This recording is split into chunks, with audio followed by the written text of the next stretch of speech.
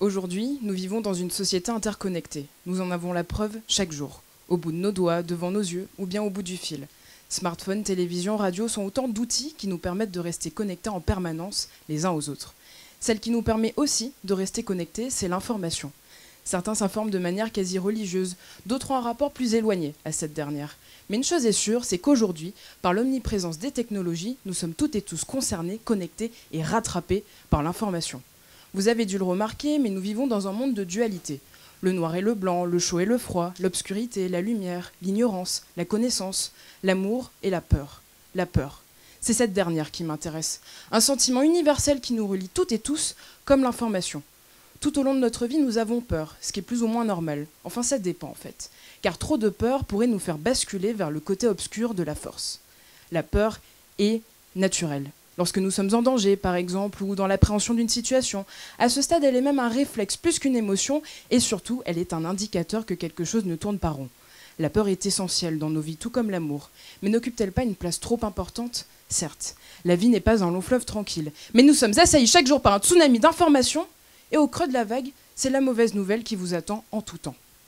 Dans le cadre de ma recherche, j'étudie ce tsunami informationnel, mais je l'étudie dans un contexte particulier, celui des médias et des dernières élections présidentielles américaines.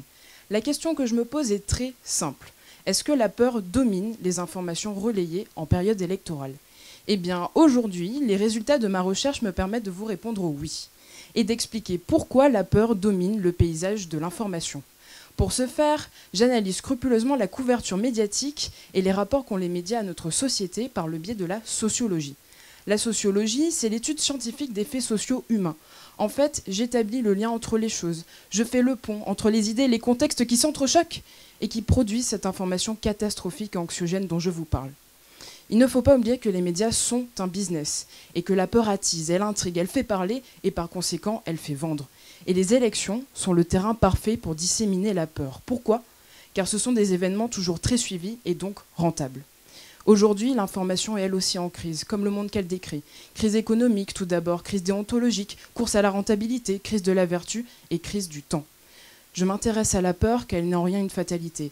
Elle est un outil de vente, de propagande, de marketing, mais surtout une arme redoutable pour influencer et manipuler les esprits.